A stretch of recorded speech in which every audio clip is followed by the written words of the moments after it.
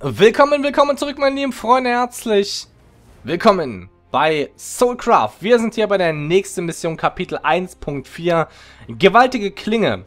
Da haben wir anscheinend einen Bossgegner, so wie ich das sehe.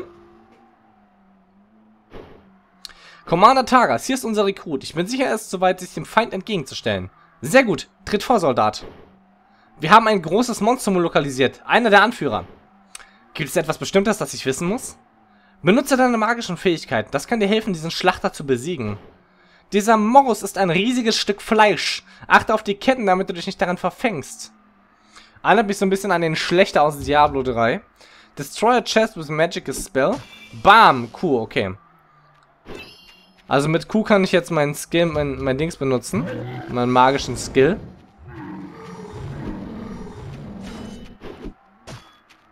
Macht er das Automat? Ah, nee. Tschiu. Ja, verbraucht ein bisschen Mana. Ist aber absolut okay. Ah, okay, ich kann damit super stunnen.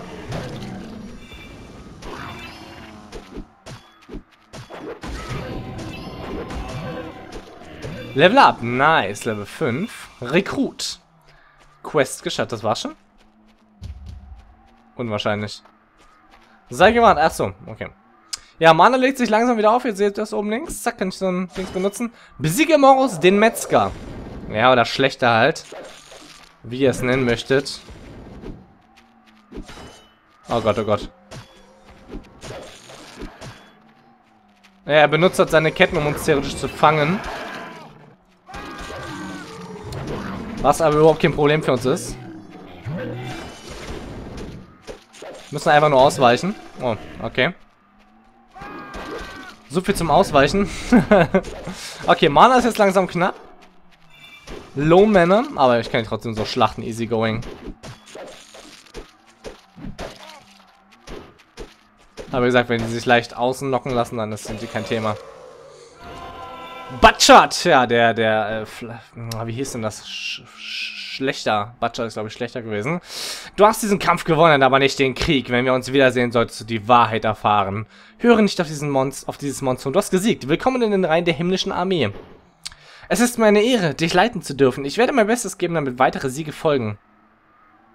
Nice! So, da haben wir eine Kampagnenbelohnung, ein Gold bekommen. Drei Gold. Bonus-Gold anscheinend. Steht hier.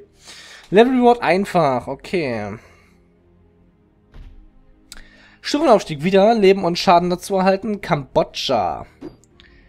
Der uralt vergessene Dschungel von Kambodsch Kambodscha verbirgt eine seltsame mystische Macht. Bist du der Held, der sie von den dämonischen Einrichtungen? Okay. Ach, das ist eine neue Mission gewesen. Alles klar. Und das ist die nächste Skill. Aufopferung. Opfere einen Anteil deiner Gesundheit und werde kurzzeit unverwundbar. Im Anschluss fügst du einem Gegner im Umkreis brutalen Schaden zu. Opfer 20% deiner momentanen Gesundheit und fügt dann jedem getroffenen Gegner 700% des magischen Schadens zu. Nicht übel. Und der Box Boss Toxur und heiliges Irrlicht bald freischalten. Nice. Helm der Bestie. Äh, verbessert deine Kampfkraft mit diesem Helm. Und mysteriöse Truhe. Sollen wir uns das kaufen? Wir haben aktuell gar keinen Helm. Machen wir mal. Und die Kiste möchte ich mir nicht kaufen. So, was haben wir hier Schönes? Eine Gratis-Truhe. Your Daily Request Reward. Okay. 25, her damit. Achso, muss ich was machen? Muss ich wohl. Große Mauer. Na, dann würde ich sagen, machen wir einfach mal die tägliche Mission hier. Ich denke, hier wird nicht viel Text sein, oder? Ach, guck mal, die Mission kenne ich doch. Die ist die allererste gewesen. Jetzt gehen wir allerdings von unten, so wie ich das sehe. Äh, ja. Oder eine andere Sicht, keine Ahnung.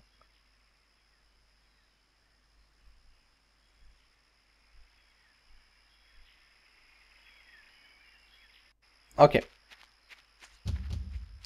Reach the Portal. Er scheint noch nicht ganz auf Deutsch übersetzt zu sein. Ich brauche vielleicht mal eine bessere Waffe. So als schlechter wäre es schon praktisch, Schaden zu machen. Was sind eigentlich die Skills? Dieser eine Skill, irgendwie weiß ich nicht damit anzufangen.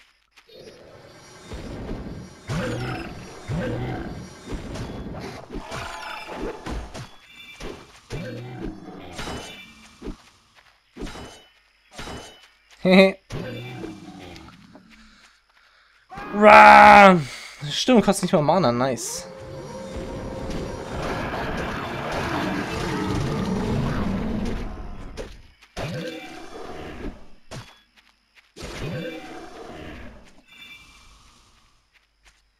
Du hast gewonnen. Okay. Ja, wieder zwei Essenzen des Wassers, ist doch nicht übel. Panzer der Gesundheit 319 kann man sich theoretisch kaufen, ja. Da habe ich jetzt aktuell gar nichts. 319 Leben dazu, aber ich glaube, das lasse ich dann doch erstmal. Kambodscha. Ich glaube, Gold ist so ein bisschen eine ziemlich seltene Ware, oder? Hier.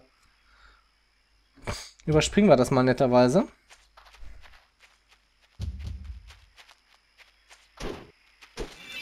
Ja, war ein paar Serien drin gewesen. Ach doch, muss ich doch lang, wa? Okay. Gibt es irgendwie eine Map oder so? Nee, wa? Oder ist das kreisförmig gewesen, wa? Ja, ich glaube, es ist kreisförmig. Die ganzen Maps scheinen hier kreisförmig zu sein. Bam! Ja, ist doch super optimal gewesen, oder? Den Gegnern... Flups! Ein Stun in die Fresse zu geben. So, was ist das zweite Portal hier direkt anscheinend vor mir?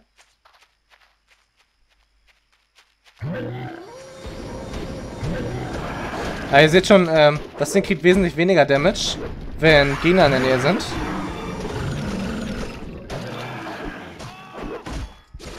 Wow, okay.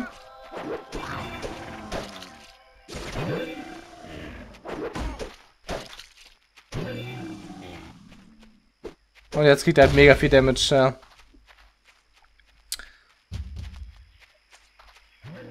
Ich muss mir Tatsache ernsthaft einen Mana-Trank gönnen. Oder einen Heiltrank. Oder wurde irgendjemand geheilt.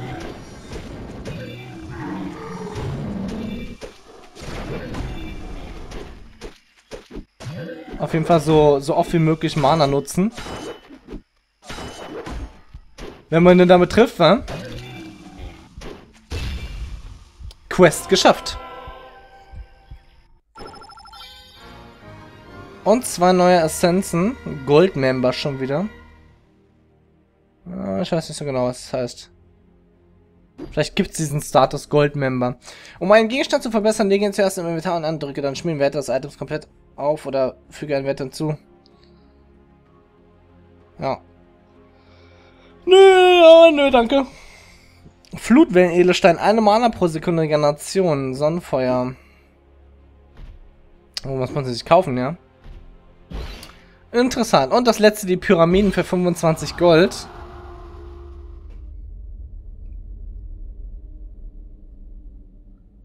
Sieht Bossmonstermäßig aus, ne? Besiege die erste. Ah, okay, nach Wellen. Und die lassen sich zum Beispiel gar nicht mehr interrupten, die Gegner. Denen ist das jetzt völlig egal.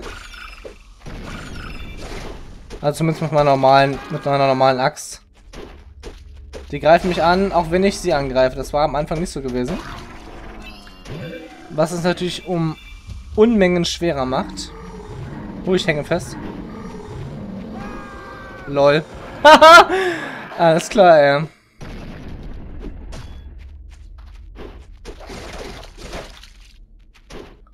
Das ist auch mies.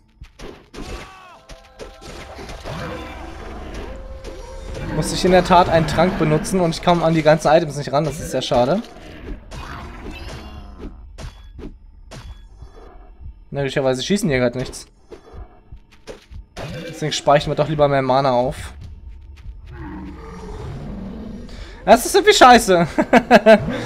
ich habe auch nur drei Heiltränke. Steht unten rechts. Okay, jetzt kommen sie mit dem...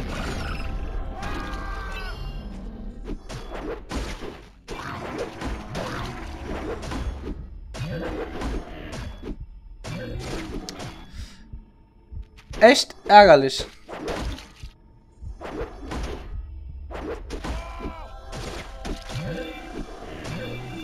Sehr schade, dass ich dafür drei Heiltränke ausgeben musste. Wo eigentlich nur einer wahrscheinlich von Nulten gewesen wäre. Da habe ich nicht viel Gold Plus gemacht, wenn ich mir gleich wieder Tränke kaufen muss. Gut. Aber wir haben einen Stufenaufstieg gehalten. Wir haben den Boss freigeschaltet, das heilige Licht freigeschaltet. Okay. Das Wurfmesser bald freischalten und die Verteidigung. Schön. Das Kettenhemd des Lebens. 3 Gold. Das Sonnenfeuer. 100 Gold. Ja, ist auch nicht schlecht, ne? Ach komm, kaufen wir uns das einmal, würde ich sagen. Äh, Packages. Und hier haben wir auch noch was. Unlocks. Alles klar. Eine mysteriöse Truhe, die wir gratis bekommen haben. Muss noch auf einlösen. Und da kriegen wir ein paar Essenzen heraus. Alles klar, sechs Stück. Nicht übel.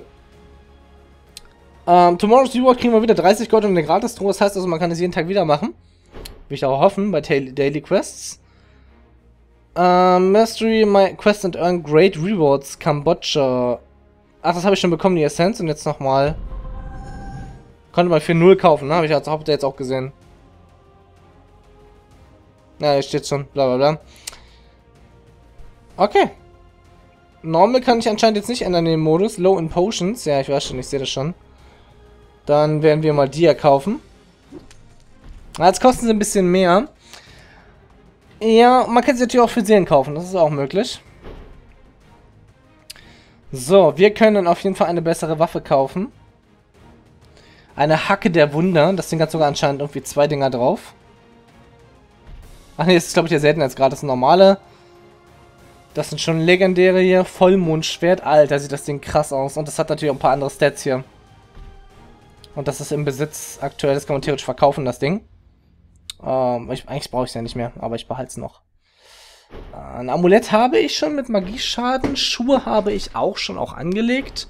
Das Kettenhemd habe ich mir eben gekauft. Die kann man sich nur so viel neues Alter. Panzer der Resistenz.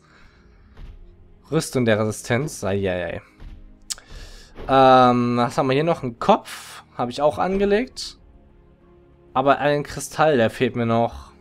Aber den brauche ich auch gerade nicht so wirklich dringend. Und jetzt seht ihr ja aktuell meine ganzen Stats, die ich habe. Schaden, kritische Trefferchance und so weiter und so weiter. So, was ist das genau? Das wird man gerade machen. Ach komm, machen wir es einfach mal. Scheiß drauf. Skippen. So. Jetzt ist es normal mittlerweile der Modus, ja. Ja, die Viecher kriegen Leben wieder, wenn sie mich angreifen. Ups. Das war nicht gewollt. So, da ist das Höllentor free. Und die werden natürlich immer schwerer. Ihr merkt, die sind ein paar Gegner gewesen.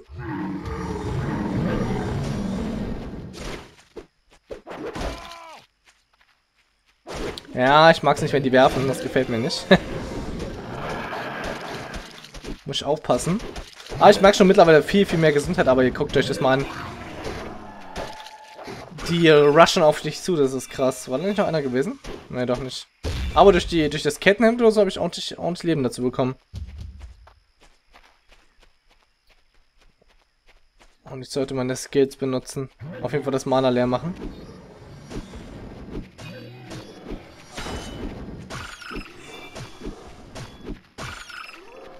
Damit die mich nämlich dann nur so nerven. Das ist, weiß ich nicht, so ein... Ja, ein Gift, Gift-Typ. Das dachte ich mir gerade schon.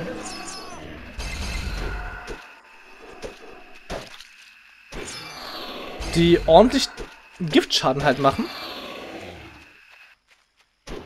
Aber auch ihren eigenen, das ist auch nicht schlecht. So, da haben wir eine Essenz, glaube ich, fertig. Oder bekommen wir eine Essenz.